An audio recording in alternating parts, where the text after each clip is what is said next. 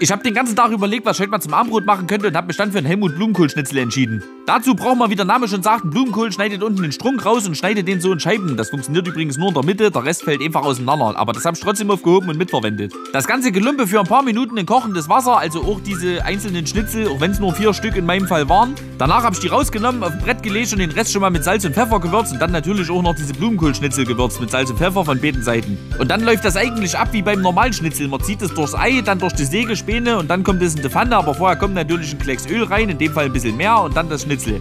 Also man kann ja sagen, was man will, panierter Blumenkohl ist ja so oder so geil.